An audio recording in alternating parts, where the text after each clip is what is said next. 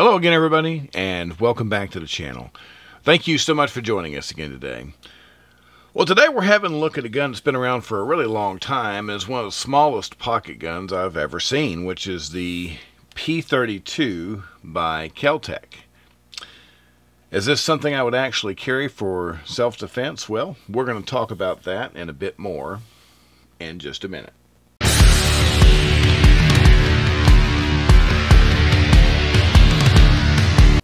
All right, once again, welcome back. Thanks for being with us today. If this is your first time coming to the channel, or if you've been watching our videos before and you just haven't had the chance before now and you like our content, please consider subscribing. You can locate that subscribe button in the lower right hand corner of your computer screen there, or if you're on a mobile device, you can just scroll down below the video and hit subscribe that way. It's a simple thing that helps out a whole lot, and we really appreciate it. So, the P32 by Keltec.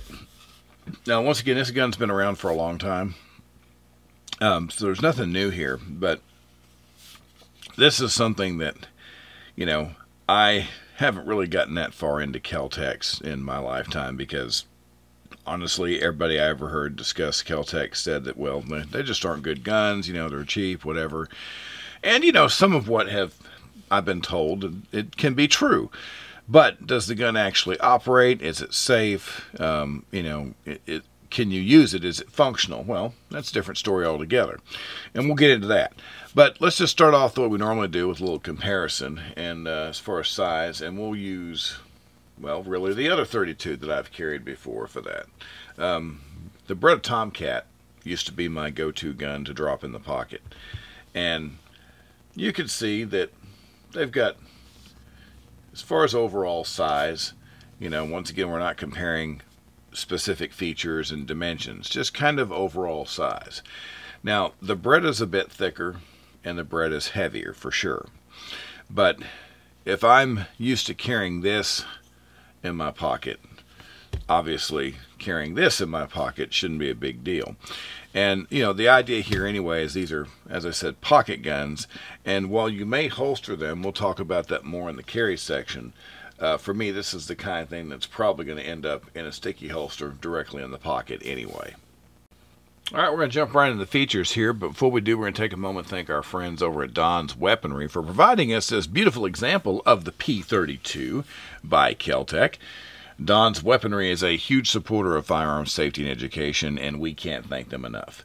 So as usual, we're going to safety check our gun, get the magazine out here, and let you see that there is nothing in the chamber, and we are just as safe as we can be here. This is a seven round magazine, so you get seven plus one with the little firearm, which isn't bad for a little small gun here.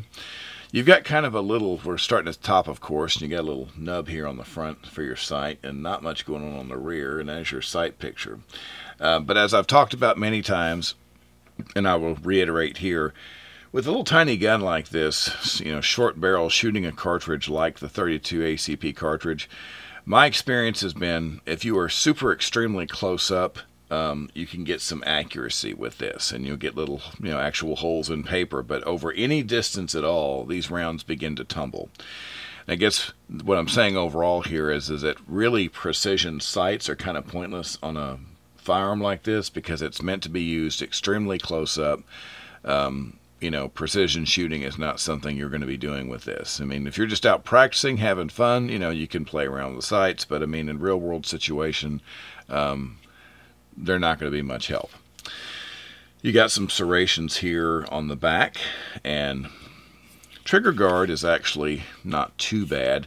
I've got big fingers, and so I've always got concerns about, you know, getting my finger inside um, the front here of the trigger guard. One of the reasons that I you know showed you the the Beretta in the beginning, one of the reasons why I liked it so much years ago is when I picked it out is because it's got a pretty big trigger guard and I can get my finger in this one really easy.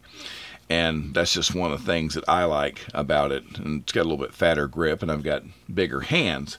But having said that I can still get my finger in here pretty good so it's not too bad um, we'll talk more about the trigger um, whenever I go into the range section here, but just so you'll see, you can see that there's a hammer there. And a lot of people try and say this is a striker fire gun, but it's not.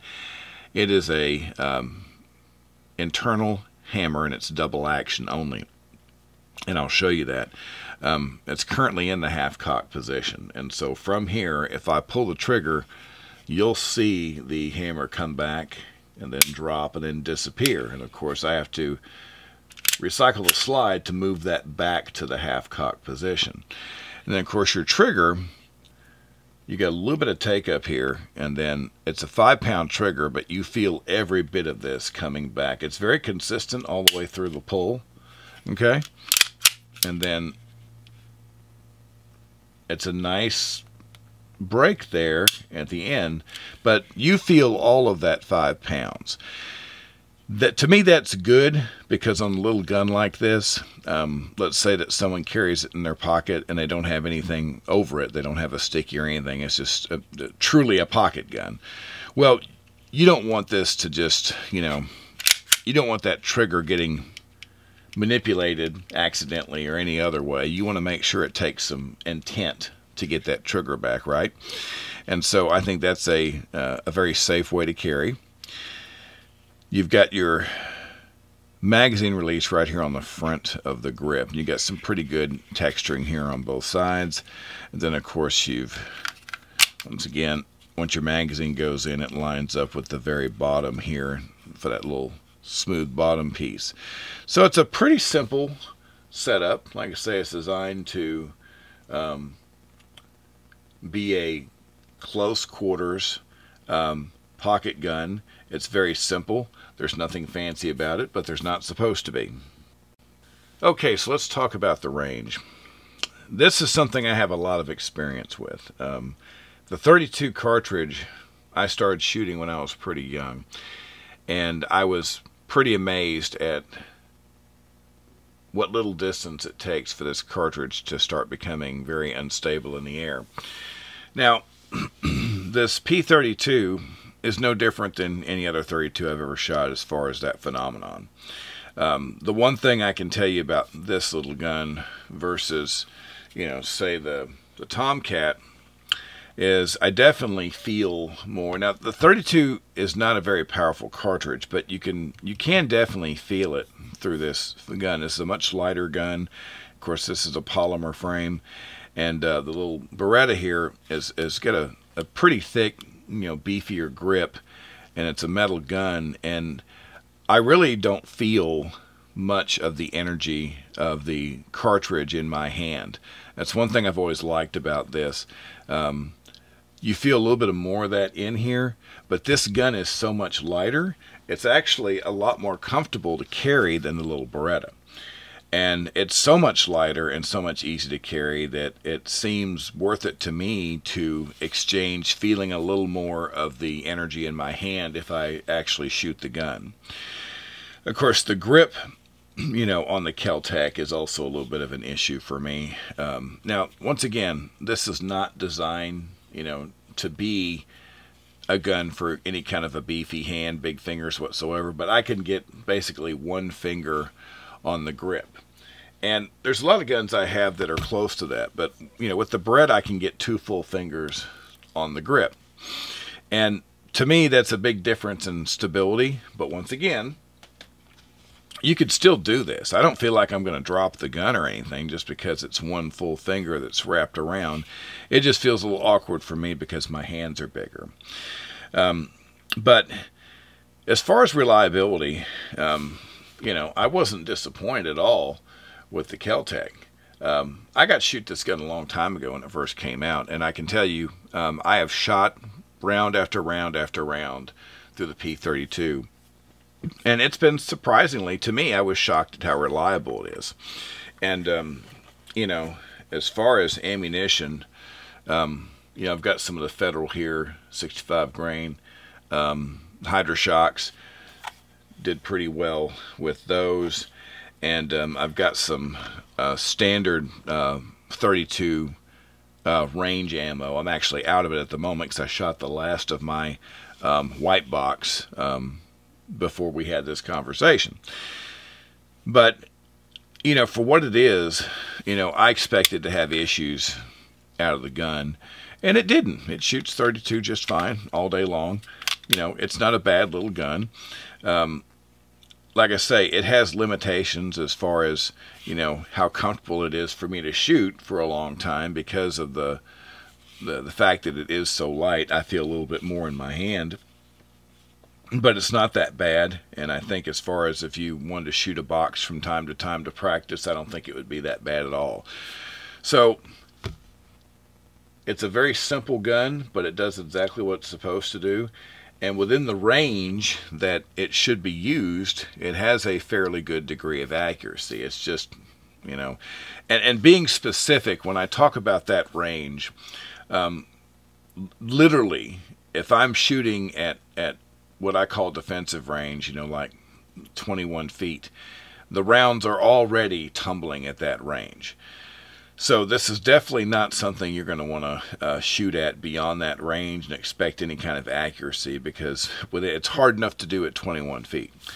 But you can get some decent rounds on paper, um, but you will notice that even at that range, they're already starting to become unstable. So what's it like to carry the P32 as your carry gun?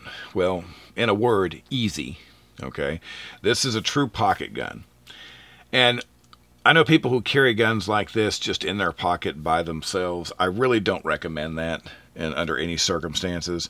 Now, this does have a pretty, you know, solid trigger. It's five pounds, but you feel that double action. It takes a lot of purpose and intent to pull the trigger. So it's pretty safe inherently, but I don't like my trigger being exposed in a pocket or I wouldn't recommend it being exposed in a purse. Something can, you know, get wedged between there or whatever, and then there's always that possibility of an accident.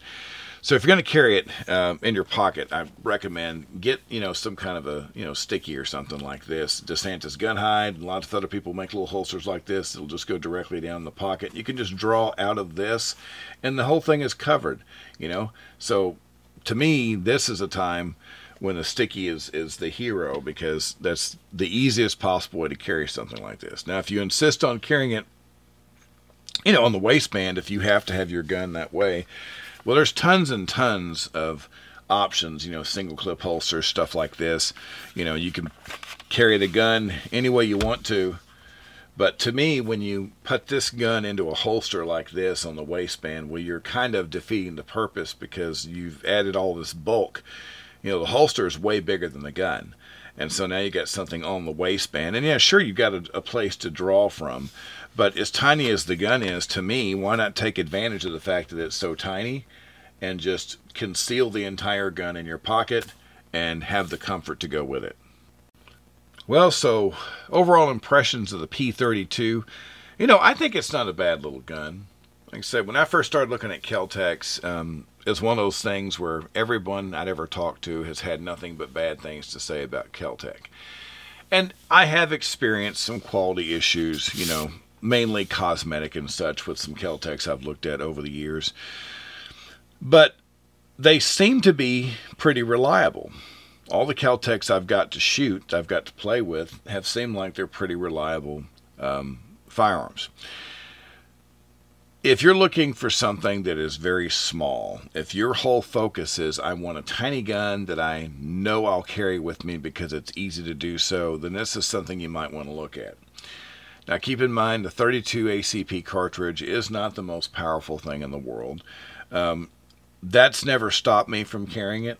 Um, like I say, at close range, um, it's a fairly accurate cartridge. It doesn't take long for it to start becoming um, way, way less than that. But to me, um, I feel good about carrying 32. That's not my it's not my first choice. Really, the smallest cartridge that I normally carry that I feel good about is 38 Special. But I carried 32 for a number of years, and I felt perfectly fine doing so. Um, the MSRP on this gun is $360, um, which seems like a lot for a small gun, but as you've probably noticed in the gun world, when you scale things down, uh, I guess it's kind of like packaging at the grocery store. Whenever they scale anything down, you pay more for it. So, for whatever reason, you know, this is going to be in that $360 range, which compared to some of the other guns that they make is kind of high. But I think that this gun is pretty well made overall. The trigger's pretty good overall, and um, this isn't a gun that if I put it in my pocket, I'd be afraid that it wasn't going to work. So it seems like it's been pretty functional, reliable up to this point. So, anyway, if um, if that's in your budget and you're after a pocket gun and you want something that is the lightest, undeniably one of the simplest things you can carry, well, it's double action only. It's got a decent trigger and it's not picky about ammo. Uh, and at 360, it's not really that ridiculous when you look at some of the other guns that are small and what they go for. So, anyway, it's not a bad choice if that's what you're after. All right.